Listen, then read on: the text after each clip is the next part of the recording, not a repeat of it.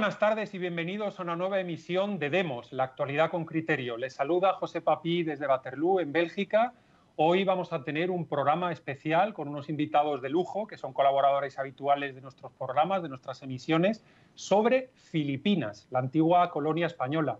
Y además en una semana en la cual excepcionalmente no hemos tenido las tres emisiones habituales de lunes, miércoles y viernes, además del superchat que a veces tenemos algunos domingos, sino que esta semana hemos tenido cinco emisiones porque hemos celebrado la Semana de la Hispanidad, que, en fin, nos hemos sumado a esa iniciativa que ha organizado el periodista historiador Patricio Lons, amigo nuestro eh, de la Argentina. Y, eh, bueno, ha habido una semana, digamos, en la cual hemos festejado lo que somos y probablemente lo que tenemos que volver a ser cada día más, ¿no? Para dotar de un proyecto, que esto sí es un proyecto y no lo que es la nación española, de un proyecto a la acción internacional de, todos nuestros países.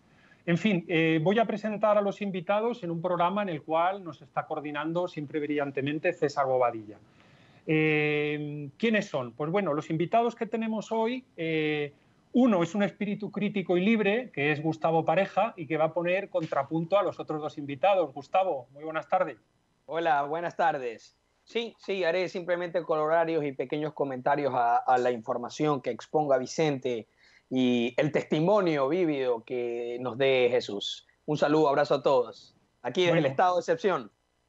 Desde el estado de excepción ecuatoriano, que eso tenemos que hablarlo en detalle, señor, otro día. Otro día.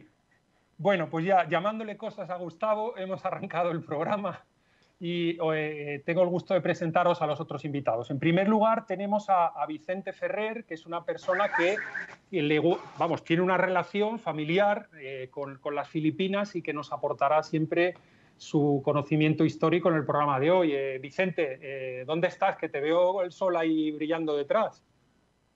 Sí, bueno, aquí en el Caribe, como siempre, normalmente lo que pasa es que aquí están en la Universidad Tecnológica Bolívar, que a veces se da alguna que otra charla y alguna colaboración. Si oís ruido, por eso iré cortando y tal, es porque eh, da la casualidad que a lo mejor pueden pasar los estudiantes por detrás y tal, y se puede oír ruido fondo, pero bueno, aquí estamos. Y sí, bueno, efectivamente tuve tengo una relación familiar, como tú has dicho, pero aunque ya un poco lejana, ¿no? Desde siempre ha quedado eh, esa conciencia y esas historias que nos contaban de todas, mm, cuando, hasta el 98, obviamente, ¿no? Efectivamente.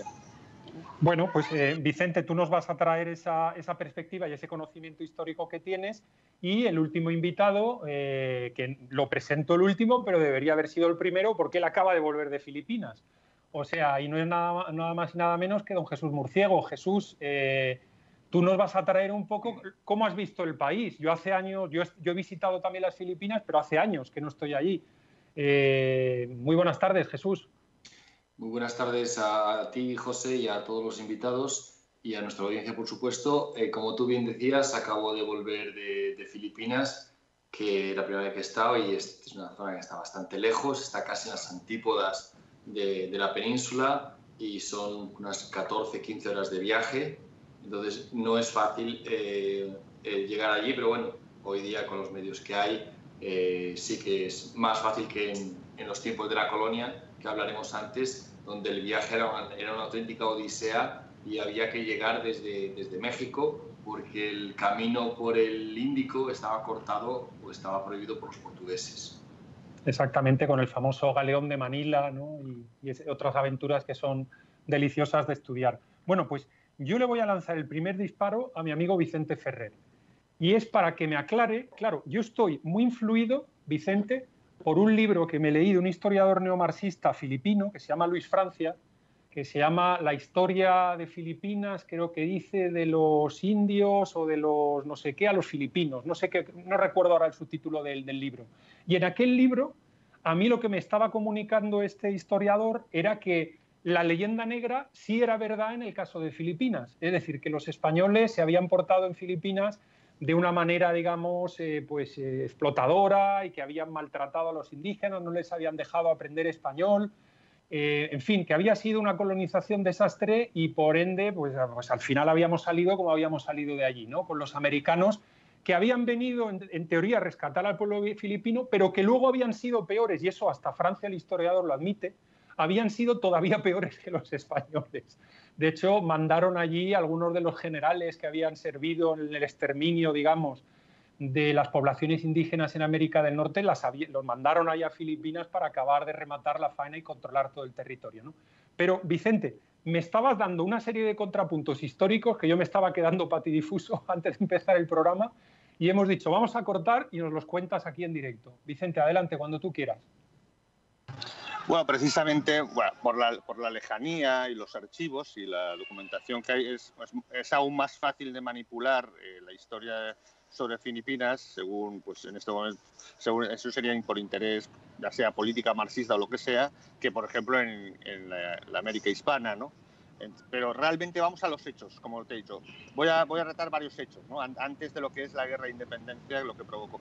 Varios hechos. Primero, en 1500 83 nada más y nada menos que se produce el Sínodo de Manila, que decidió la, política mundial de lo que se llamó la gran estrategia de Felipe II, que era el imperio universal de, eh, de, Carlos I. Es decir, la, gran estrategia hispana, germánica, global, mundial que tenía España en ese momento. Eh, en ese sínodo de Manila, siento el ruido de fondo, el sínodo de Manila, Manila eh, decide por, la, por el debate entre, entre el jesuita Sánchez y el, y el administrativo eh, Acosta, eh, se decide finalmente la tesis de Acosta por la que se renuncia, se renuncia a, a, la invasión de China. Era la que se llamaba la empresa de China, o sea, continuar esa idea de, imperio universal. Bien, al renunciar a esto, eh, esa zona asiática, ya Japón empezaba a ser un poco porque aunque se prohíbe en 1625 la persecución cristiana, ya los Tokugawa cuando llegan al poder a finales de 4570 y tantos, ya pues bueno, en fin, la cuestión está que eh, en 1599 Felipe II, 98, hace un decreto, un decreto de, eh, eh, de, referéndum. Fíjate lo que estoy diciendo, una de las, las primeras veces en la historia, si la primera en la que se decreta un referéndum para ver si la población quería mantenerse en la corona española en 1597-98. Eh, se enviaron eh, eh, por todas las islas gente para recoger esa voluntad. ¿sí? eso se incluso se hicieron indagaciones precisamente para ver si en algunas islas era, no, era, no era verdad, se había dicho en contra, se volvieron a repetir. Bueno, algo impresionante. Después, eso se mantuvo con la época Borbón, con el Ministerio de Ultramar, y, se recogió también la voluntad mayoritaria de la población. Incluso se planteó que en, las pequeñas islas musulmanas, si las independizaban, por si no querían, por si era un poco complicado mantenerlas en la... Eh, aún así, se, mantuvieron porque lo poco que, lo que se recogió era favorable. Y finalmente, en 1846, ya en época de contemporánea, se vuelve a hacer un referéndum, vuelve a haber una, un apoyo mayoritario de la población y ya viene lo que es la, época que va a desencadenar todo, que es el decreto del ministro Becerra de 1889, por la que eh, ya formalmente sí que se declaran eh, no iguales como ciudadanos a los filipinos, atendiendo a, razones de lejanía eh, geográfica y también diferencias culturales que no se han superado con los siglos. Y, ahí empieza la protesta de, de, de, de Raizal, es Raizal, no, Rizal, Rizal, José Rizal. perdón. Eh, José Rizal y Bonifacio y tal, eh, comienza la protesta que desembocará en el comienzo de la guerra, precisamente porque, con el lema provincia sí, colonia no, como se ven que no están consiguiendo, primero optan por una guerra de independencia que además perderán, ¿no? La paz de Bania, eh, Banató y, y etcétera, ¿no? Que, además acabarán teniendo incluso lo que habían sugerido se les concederá. Eh, Gustavo, al hilo de lo que nos estaba explicando Vicente, que Vicente nos ha mostrado cómo, digamos, España sí trató bien a sus súbditos en lo que, era, en lo que fue las Filipinas, yo lo que le leía a este historiador marxista, a Francia, era que, eh, pues bueno, las encomiendas era un régimen brutal donde se daba latigazos a la gente que quería que quería hablar en español, se les mantenía, digamos, en un estado de semisalvajismo, ¿no? Para que fueran productivos en los campos y eh, eh, incluso mm, eh, cuenta él cómo la población estaba muy a favor del gobernador, muy a favor del funcionariado español que había allí, incluso del mundo militar, de los militares, pero le tenían una manía tremenda a los encomenderos. En fin, eh, eh, ¿era esto una situación generalizada, Gustavo? Porque también en América la encomienda es una institución que también se dio. Claro. A ver, debemos entender que la encomienda tuvo varias etapas. la primera etapa que fue desde el descubrimiento, del descubrimiento de América, unos 20, 25 años, y sufrió reformas. porque, en primer lugar, a ver, ¿qué eran los encomenderos? Eran como contratistas privados que se les concedía un monopolio en una determinada región para explotarla y darle trabajo a los indígenas. Pero era una especie de semi-feudalismo en los inicios y los indígenas tenían que pagarle al encomendero con su producción. Después lo que se, eh, se hizo una modificación para que se pague un salario digno a los indígenas y de ese salario se hacía una, una, una resta, ¿no? Una deducción para pagar impuesto a la corona. Entonces, ellos trabajaban, tenían un salario, estaba determinado, que estaba calculado por autoridad española, y eh, debían entregar la producción al encomendero para que el encomendero haga la exportación a Europa de la producción, ¿no? O, o, la, el, el, comercio interno dentro de, de, del control de tierras americanas. Eh, primero, las encomiendas arrancan en el Caribe. En el Caribe hay abusos. Precisamente Bartolomé de las Casas, que es uno de los que se queja, era un encomendero. Eh, Colón regresa encadenado precisamente por el maltrato que hizo en esas encomiendas. Entonces, la institución comienza a sufrir cambios para que eh, se establezcan garantías laborales y beneficios laborales para los que trabajaban ahí. Eh, ¿Cuál era la finalidad de las encomiendas? ¿Explotar a los indígenas? No, la finalidad de las encomiendas era que haya producción para que los territorios conquistados puedan mantenerse, en primer lugar mantenerse y en segundo lugar generar superávit para el mantenimiento de todo el imperio. Eh, también se veía que el trabajo organizado y la ética del trabajo era una forma de civilización para los pueblos que ya no eran solamente conquistados, sino pueblos absorbidos. Entonces, para integrarlos al etos hispano, debían compartir también la, ética laboral. Esto no quiere decir que no habían abusos. Pueden haber habido abusos de 5%, 10%, 15%, 25%, 30% de los encomenderos sobre los indígenas. Pero la institución no estaba fundada en el abuso. El abuso era la excepción a la regla. De aquí viene algo que puede explicar la tendencia de, eh, de por ejemplo, de este historiador Francia, eh, que es de origen filipino, ¿no? Sí, sí, es eh, filipino. Sí, sí, es, filipino. que es de origen filipino, para defender a las autoridades, eh, a las autoridades militares, administrativas, judiciales del Imperio Español frente a los contratistas privados encomenderos. Y es que, obviamente, el funcionario es escrupuloso en, en, sus actividades, así como el encomendero o el comerciante es escrupuloso en sus actividades. Como el encomendero es escrupuloso en querer sacar la máxima rentabilidad y producción posible, el administrador es escrupuloso en imponer de mejor manera el reglamento que tiene que aplicar, ¿no? El reglamento que le viene dado porque si no se, jugaba, el cargo. Eh, la forma como funcionaba en esas épocas, eh, eh, la, lealtad, la, lealtad administrativa es diferente como opera ahora, que no es una explicación que debemos hacerla.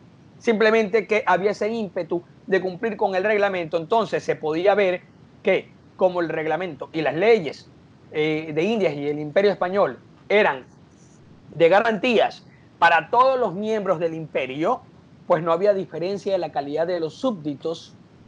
Los historiadores pueden ver, oh, qué favorables que eran los jueces y las autoridades españoles frente a los encomenderos que eran unos explotadores, porque los otros aplicaban la ley hispana, la ley del imperio español, de eh, las defensas de las dignidades de los súbditos del imperio y de sus privilegios.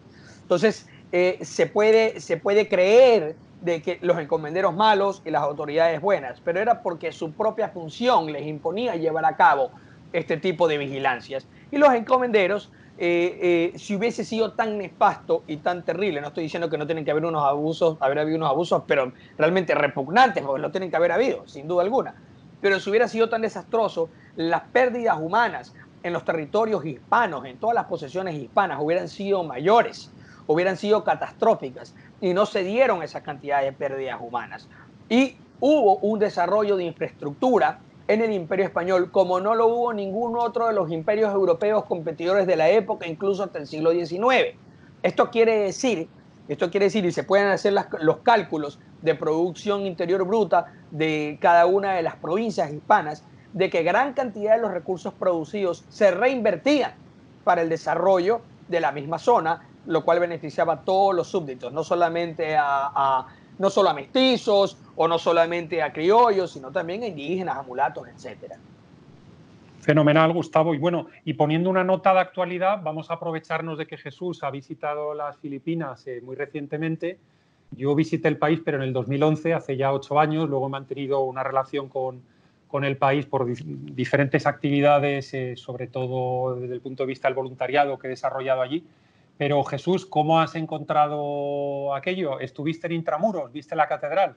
Sí, sí, estuve en el distrito de Intramuros, que es el, antiguo distrito español, que está edificado con piedras está bueno, mal conservado porque hubo un bombardeo de los americanos. Eh, como lo ocuparon los japoneses en la Segunda Guerra Mundial, eh, los americanos lo bombardearon a, Además, se llevaron bastante con ese barrio, lo dejaron bastante arrasado, pero bueno, aún se encuentran rincones eh, únicos y zonas que, realmente recuerdan la, herencia hispana y que está muy bien recordarla ahora mismo que hablamos de la hispanidad, pues Filipinas es como una parte un poco olvidada, una parte perdida de la hispanidad, porque además, decía antes, eh, se encuentra bastante lejos y, la forma de llegar eh, era muy complicada en aquellos tiempos.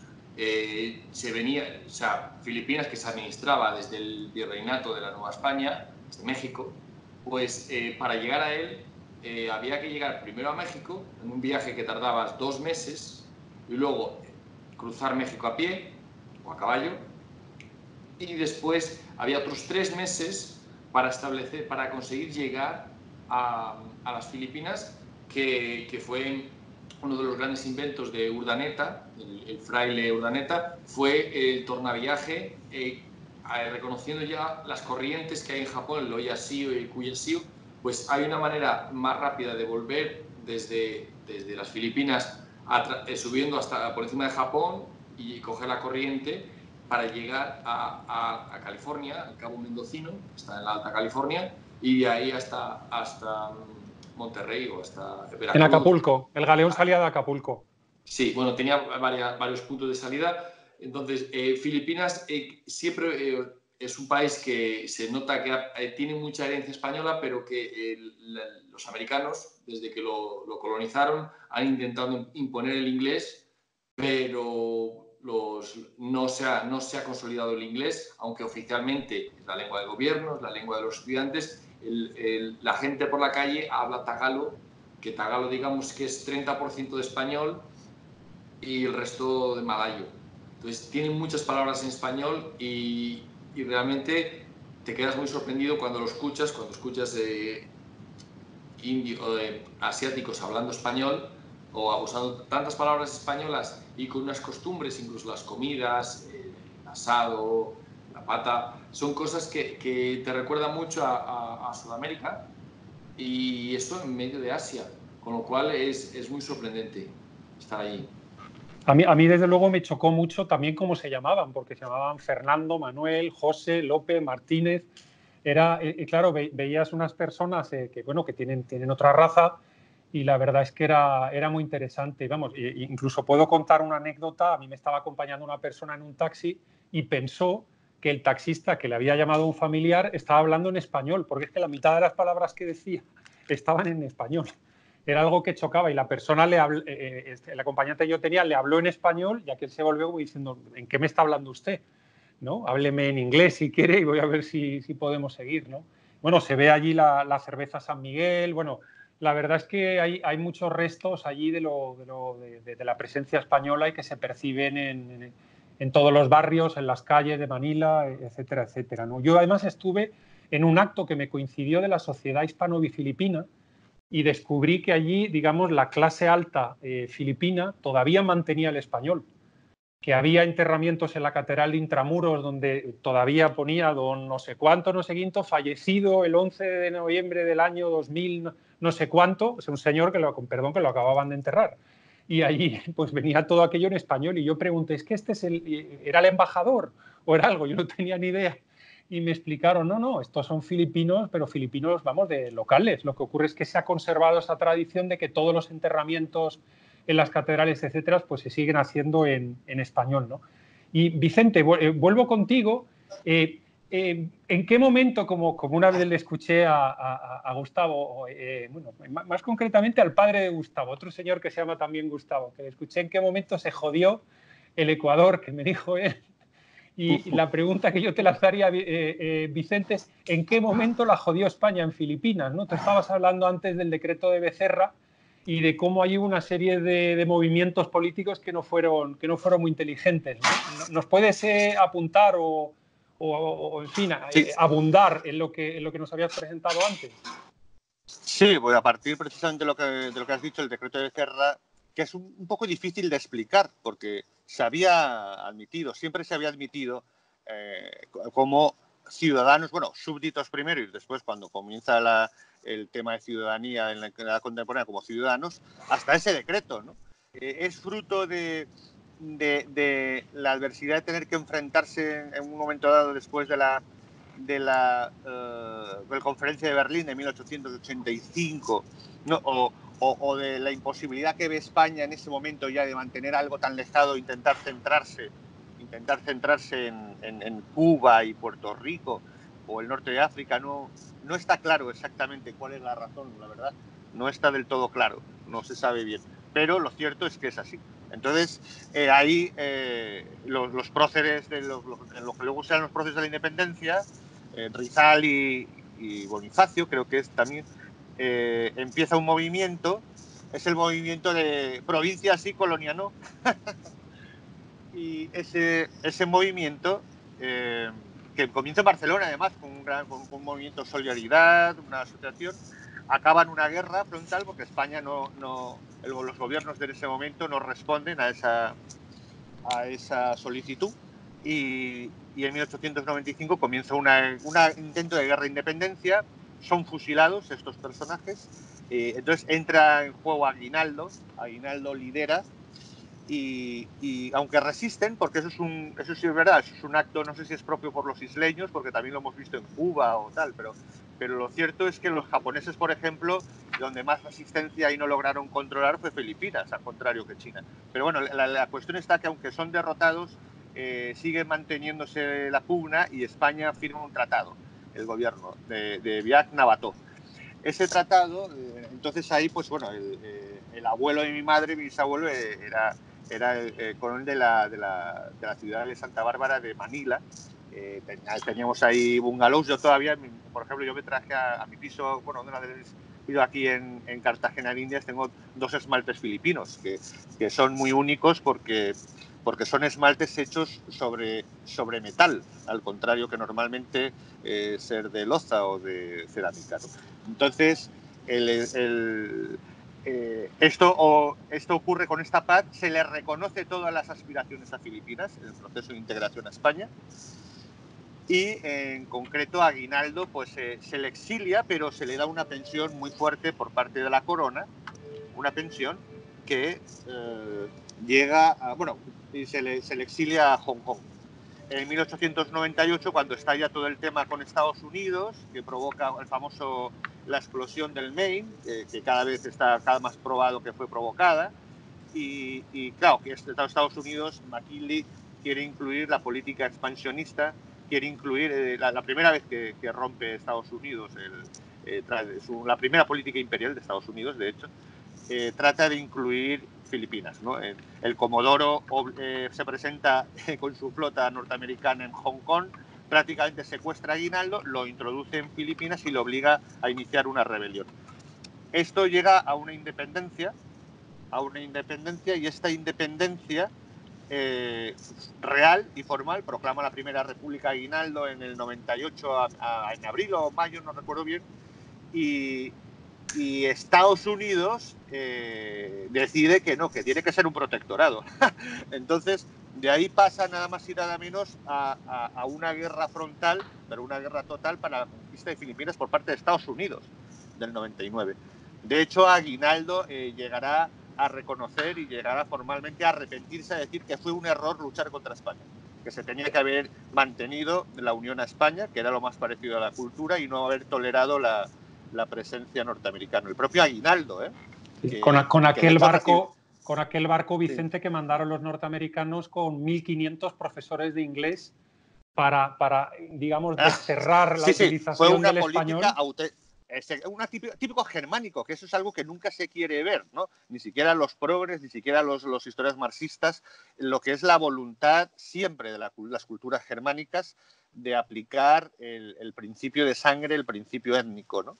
Eh, mientras que eh, las latinas y propiamente España, España y Portugal, ¿no? aplicaban el, principio católico de la universalización. Italia también, de la... Italia, también desde Roma, Vicente. Sí, también, por supuesto. Entonces, esa, eh, ahí sí, por cierto, apuntando a lo de Jesús, fíjate que hay un gran, el, más grande eh, historiador de la edad moderna y, en parte de toda España, que es Domínguez Ortiz, en la que, en la que realmente eh, estudió lo, que era la proporción entre la tecnología y, la capacidad de España a nivel de planetario y, llegó a la conclusión de que realmente eh, mantener el imperio y la comunicación de España en el siglo XVI y XVII sería similar, esto lo dice Domínguez Ortiz en los años 70, sería similar a que en esa época Estados Unidos hubiera intentado mantener una colonia en la Luna, literalmente, con todas sus eh, incapacidades técnicas y, y todo lo que supondría ello. ¿no? Fíjate, eh, eh, al hilo de lo, que, de lo que estás diciendo, fíjate, Gustavo, que cuando uno quiere oír hablar español correctamente tiene que irse a, América, porque desde luego en España el español que se habla ahora es un desastre. Y estoy aquí leyendo, eh, bueno, estoy leyendo, lo leí hace tiempo, un libro, lo, enseño aquí en la cámara, un libro de, poesías de José Rizal, que lo compré ahí en Filipinas hace años, y aparte de cómo él se siente español, no es que se sienta español, además es que lo era en aquel momento. Tiene aquí versos vamos, eh, dedicados a la conquista de Granada, eh, dedicadas dedicados al Cano. El Cano, el primero en dar la vuelta al mundo, es uno de los versos que tiene aquí. Cervantes en Argamasilla de Alba, etcétera, etcétera, etcétera. Aparte, él, es españolista, o sea, como se diría ahora con las cosas de los indepes y todo esto que se ha puesto de moda en España.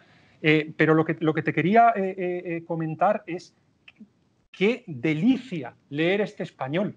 Qué delicia leer este español. Es que me ha recordado a cómo se escribe el español en, América, cómo se habla el español hoy en América, porque lo que hablamos en España ya nadie sabe lo que es, ¿no? Es, un, es una, cosa muy extraña. Eh, eh, eh, haznos un apunte, si te parece, Gustavo, sobre esto que te estoy comentando. Bueno, hay un fenómeno lingüístico que en las metrópolis se va degenerando el idioma y, porque hay una, además hay, una, hay, una, hay un ímpetu en las metrópolis de volverse cosmopolitan, entonces comienzan a adoptar lo que, lo que se llama el slang, ¿no? que es esta jerga, esta jerga mestiza, callejera, globalista, de andar metiendo palabras, entonces se va degenerando la forma de hablar.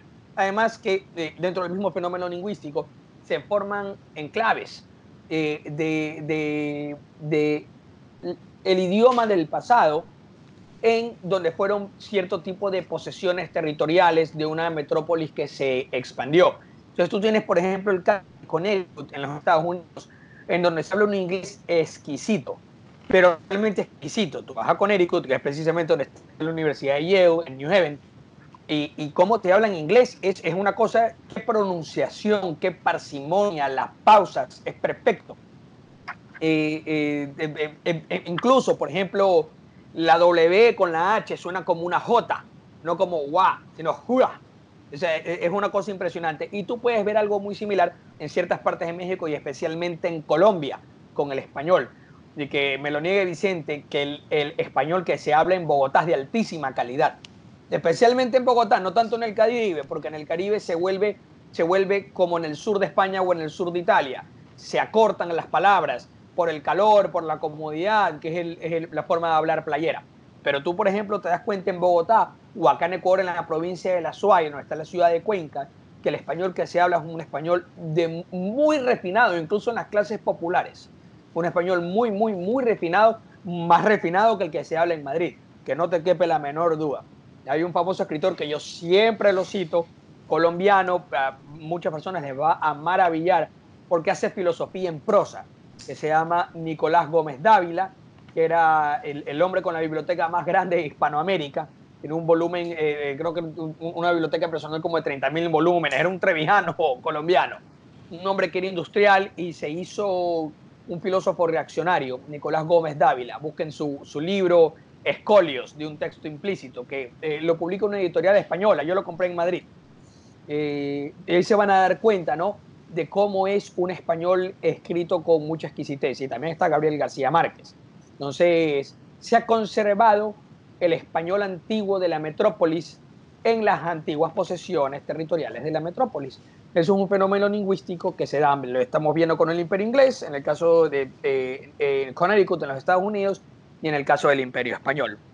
Algo te quería decir que me llamó la atención respecto a que las clases altas, por ejemplo, las clases altas eh, mantienen las costumbres hispanas en Filipinas y mantienen el, catolicismo.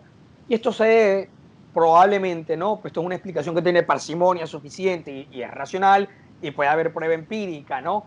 Al menos lo suficiente para establecer correlaciones. Y es que todos los pueblos conquistados, que hayan sido conquistados por otro pueblo, ¿no? Que haya enviado eh, sus ejércitos, etcétera, en sus metrópolis, para sobrevivir tienen que adaptarse. Es más, si quieren sobrevivir con un mejor estatus, tienen que adaptarse aún mejor. ¿no? Entonces, aquellos que logran adoptar la religión y las costumbres que se convierten ya en estrategias grupales evolutivas de supervivencia, quienes la adoptan bien, es más, con celos fanáticos, se aseguran a sí mismos y a su descendencia supervivencia con un alto estándar de vida. Entonces tú tienes, por ejemplo, en Vietnam, cuando había el, Vietnam del Sur, ¿quiénes eran la clase alta y la clase dominante? La gente afrancesada católica. La gente afrancesada católica. Porque el celo religioso hace las veces de movimiento inocente. Hace que la gente colabore más, por más redes y te adaptas mejor a la cultura que se impone desde la metrópolis. ¿no? Por ejemplo, en los Estados Unidos hubo una expansión en el siglo XX de, los grupos católicos que se estaban tomando toda la costa este de Estados Unidos. Y esto preocupó mucho a los White Anglo-Saxons Protestant, los famosos WASP, y a los judíos, que eran los que tenían el monopolio político-económico en la zona del New England de los Estados Unidos, de que, oye, ahora vamos a tener este monstruo enorme de italianos y polacos, irlandeses, que van a venir a catolizarnos.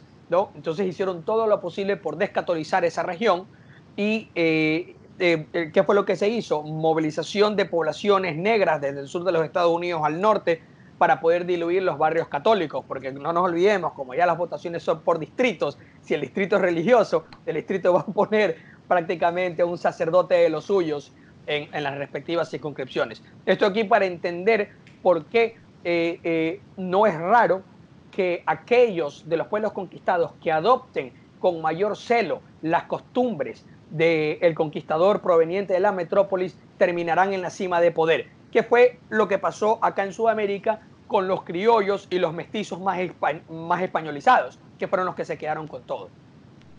Exacto. No, y lo que, lo que vemos aquí, por ejemplo, en el, en el libro de Rizal es como un español se olvida por un devenir político, por una circunstancia política, de lo que es su nación, de lo que es su nación y así por un sentimiento decide que pertenece a otra, ¿no? Y, como bien nos comentaba antes Vicente, pues claro, eh, muchos de los, de los próceres de la independencia filipina, cinco o diez años después, estaban arrepentiendo de lo que habían hecho. Pero quiero volver antes, eh, eh, digamos, vamos a ir ya casi terminando. Mm, apúntame, Jesús, alguna, alguna nota más de, de cómo, ese recuerdo que hay de España y en Filipinas. Me has comentado la lengua, nos has comentado lo que veías en intramuros, ¿no? en esa zona amurallada, digamos, de, piedra, con construcciones de piedra en la costa, ¿no? que da ya al mar, en Manila. Eh, ¿qué, más te encontraste que te llamara la atención? Sí, llama mucho la atención también, el, igual que en Sudamérica hay un indigenismo, hay como una vuelta a las raíces para, para renegar de lo que son, para... Eh, ponerse del lado del... imaginar que, que, la, que, la, colonización española fue un error o, no sé cómo lo quieras ver. también en Filipinas se, se, ensalza mucho la figura de este supuesto eh, jefe indio de la tribu de, de, la isla de Mactán que con una espada mató a, a Magallanes Entonces el indio, sí, el, cacique este de Mactán es como una figura muy importante en, Filipinas y hay una historia, bueno, la versión de la historia que se cuenta allí es que eh, los españoles eran unos malvados que fueron allí, estuvieron una temporada y se largaron, poco más. Porque además, eh, ten en cuenta que, después de los americanos tuvieron la, colonización americana, que, se empeña mucho en, en meterles el idioma con calzador que no les entró, es igual que en Puerto Rico. Por mucho que impongan el, español, el inglés, el español en la forma de tagalo, porque eh, la mayoría de la gente no hablaba español, no estaba alfabetizada en, aquellos tiempos, pues por mucho que, que, intenten meter con calzado el inglés, no les entra porque no,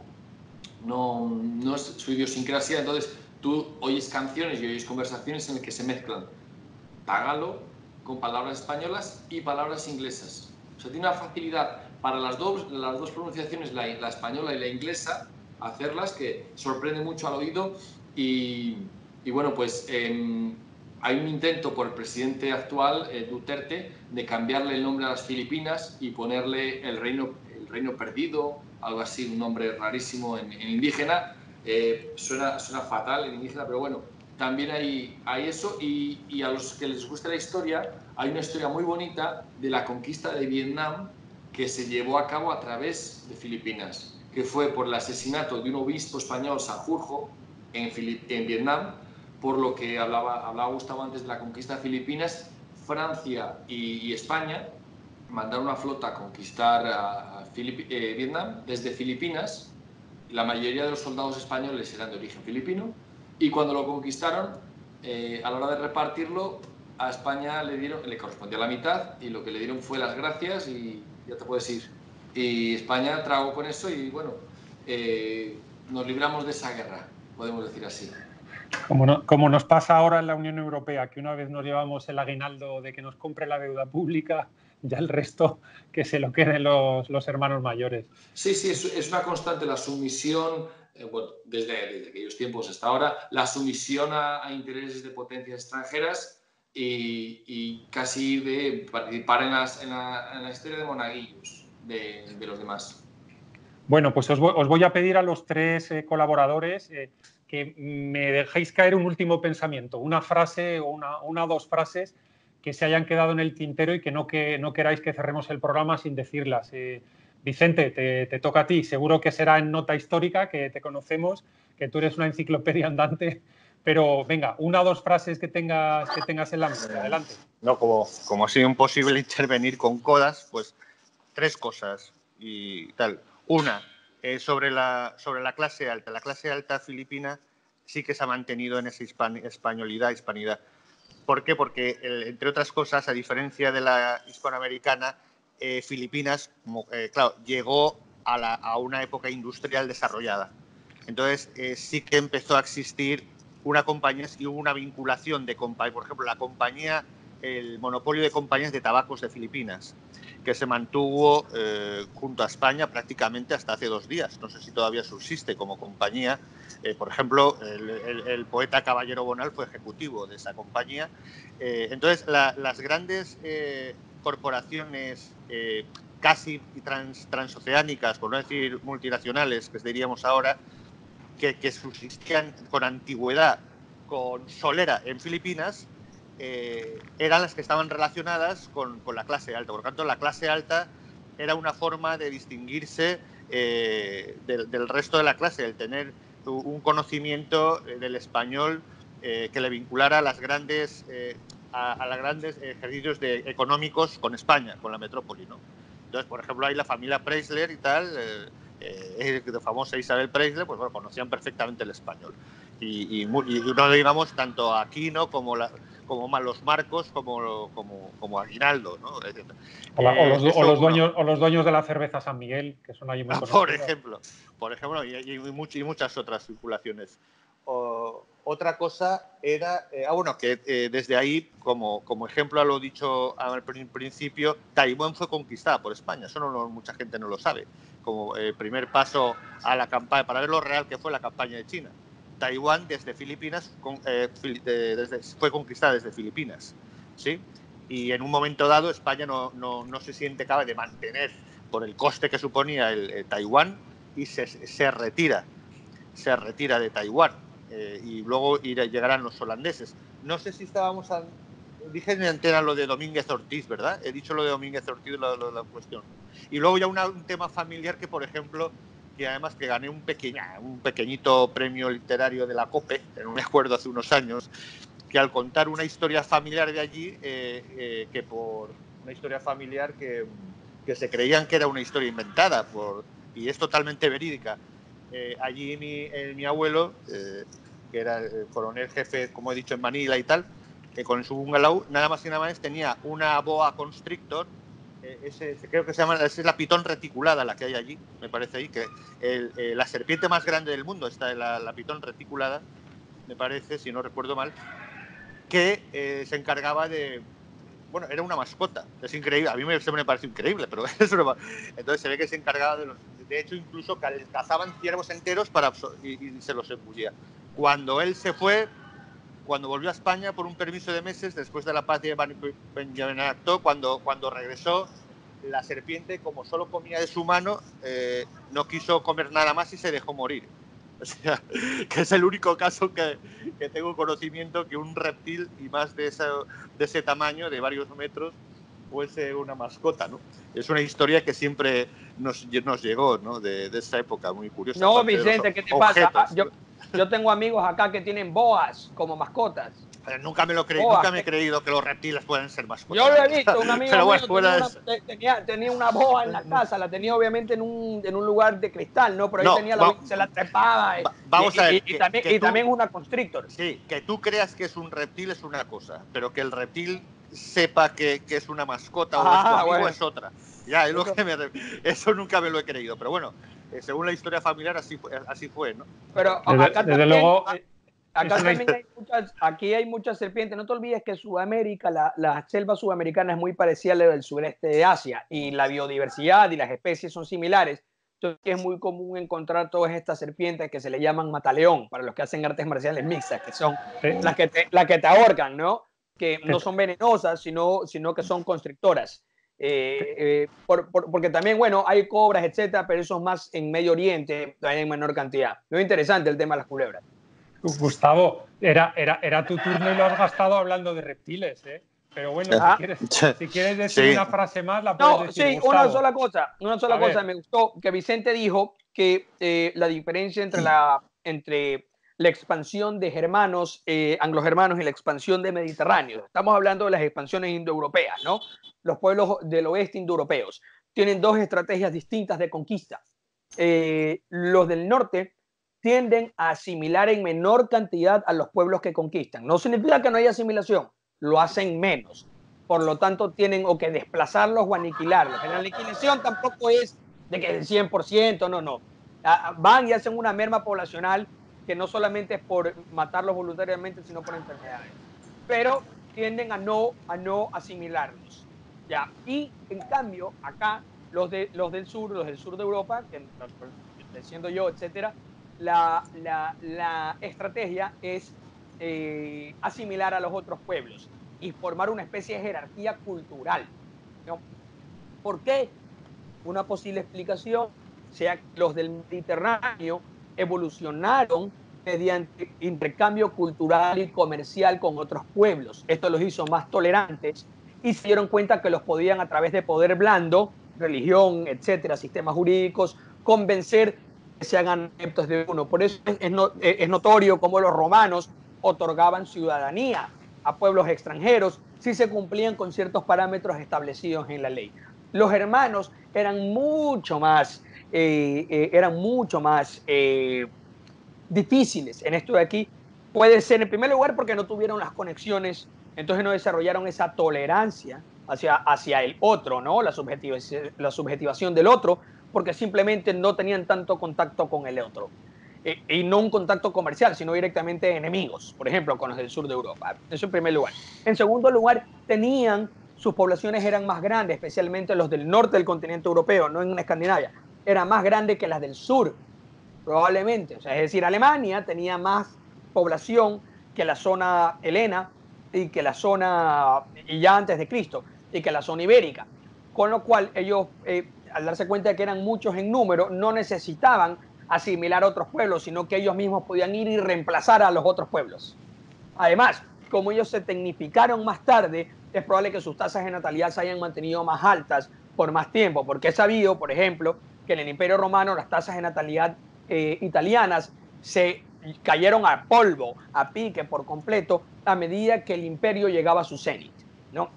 Entonces esto también puede ser otra explicación por qué la tendencia racial, que no, sino que es una estrategia de supervivencia que adoptan los germánicos en comparación con los mediterráneos.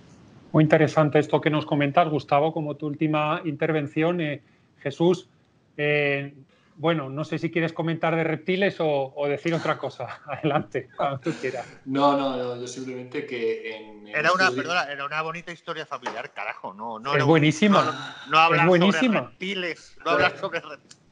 Era, era, era buenísima. No, no, oye, que lo he dicho que era una historia fascinante, ¿eh? que conste, que tienes toda la razón.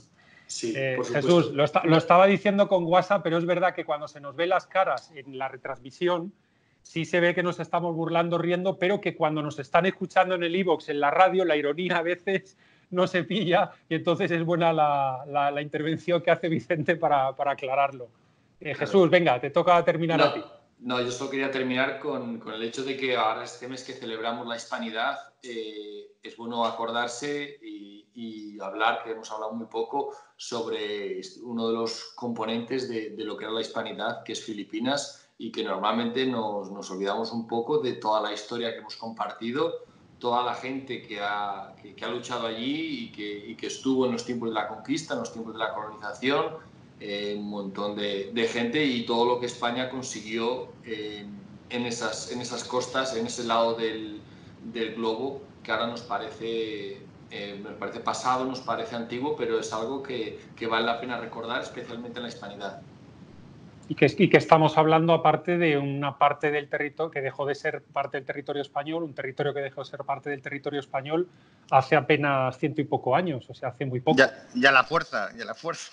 Ya la fuerza, exactamente, la guerra con Estados Unidos, como nos contaba antes Vicente. Bueno, Vicente, Gustavo, Jesús, ha sido una delicia teneros en el programa, muchísimas gracias por, por el programa y bueno, eh, le damos las gracias a César Bobadilla por haberse ocupado de los, de los mandos y de los botones y a todos ustedes eh, hasta una próxima emisión. Esperemos que hayan disfrutado esta semana de estas emisiones especiales de la Semana de la, de la Hispanidad. Un abrazo a todos y muchísimas gracias.